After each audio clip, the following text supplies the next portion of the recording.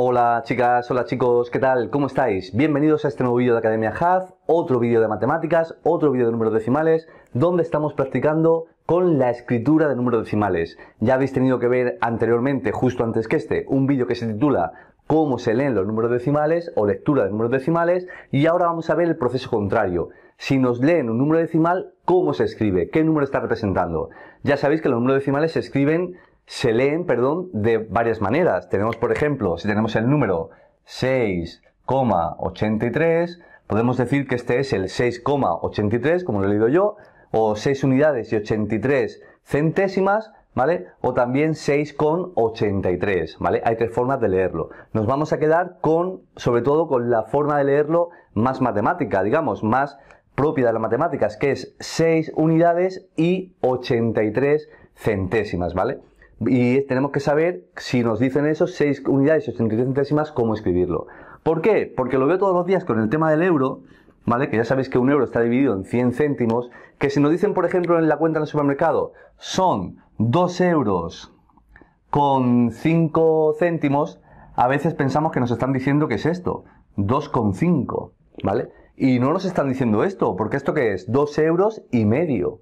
2,5. ¿Y el medio euro cuánto representa? 50 céntimos, ¿verdad? Pues 2,5 céntimos no son esto, estos son 2,50 céntimos. Aunque no pongamos el cero, el cero está 2,50 céntimos, o sea, le estaremos dando más. Si nos dicen 2,5 céntimos, tendré que escribirlo así. 2,5 céntimos, que es así, 2,05. Quiere que le demos 2 euros y 5 céntimos de euro, 0,05, ¿vale?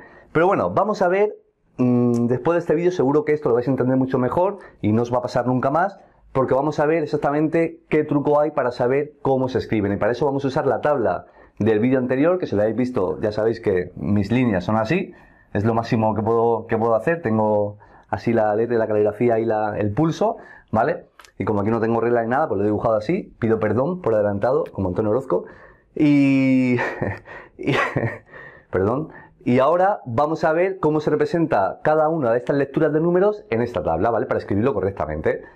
Para ello, siempre voy a empezar escribiendo la coma. Y luego hay un truco que os voy a decir. Por ejemplo, el primer número está muy fácil, porque me dicen que es 8 con 32. En este caso, el con es la coma, me dicen que son 8 con, pues 8 con 32. Pues si me están diciendo que es un 32, me lo están leyendo, pues será así. 8 con 32, ¿vale? Que son 8 unidades y 32 centésimas o 8,32, ¿vale? Es así.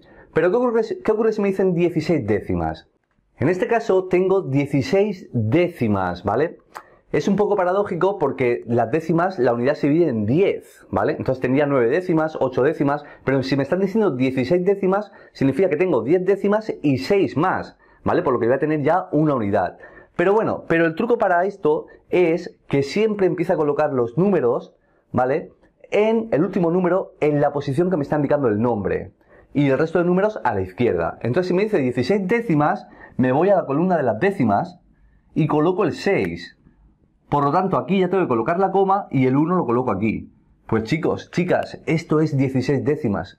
Una unidad y 6 décimas 1 más 0,6 es 16 décimas. 10, que la unidad representa 10 décimas, más 6. Eso son 16 décimas. Si nos ponen esto, ya sabéis que nos están intentando pillar de esta manera. Seguro que alguno hubiera puesto esto. 16 décimas, pues como no dice nada de unidades, es un 0. 0,16 décimas. Y escribe aquí el 16.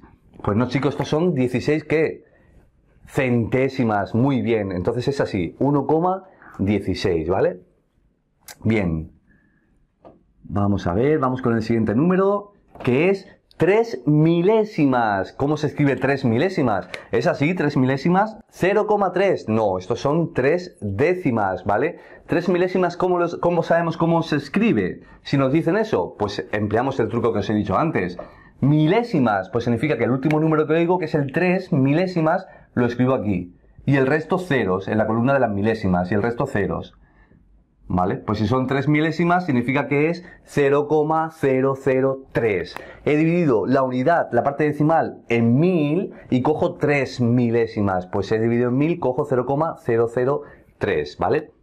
Muy bien, esto es de lo más complicado, ¿vale? Que nos podemos encontrar y estamos viendo cómo se hace, ¿vale? Vamos con el siguiente, 28,05. Pues si me dicen eso, no me complico. 28,05, 28,05. ¿Cómo se leería ese número en plan 28 unidades y qué? A ver, adelante. 28 unidades y 5 centésimas. Muy bien, ese es el 28,05. ¿Vale? Y ya por último, para terminar, ¿cómo se escribe el número 8 centésimas?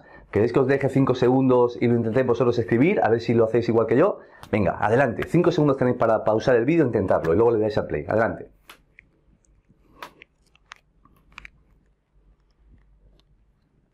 Venga, pues vamos allá. El truco está en centésimas. Me voy a la columna de centésimas. 8. Pues escribo aquí el 8. Y lo resto 0. Pues estos son 8 centésimas. 0,08. ¿Vale? No son 0,8, porque 0,8 son 8 décimas, son 8 centésimas. Divido la parte decimal en 100 y cojo 8 centésimas, ¿vale? Si me llega a decir, por ejemplo, 17 centésimas, ya sabéis que este signo significa que es lo mismo de la palabra de arriba, 17 centésimas, pues escribo el 7 en centésimas, el 1 al lado, coma 0, y estos son 17 centésimas. 8 centésimas y 17 centésimas, ¿vale?